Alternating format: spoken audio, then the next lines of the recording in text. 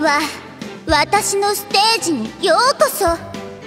みんなを夢の中にご案内しますわ。ってみんな何きょとんとしてるんですか？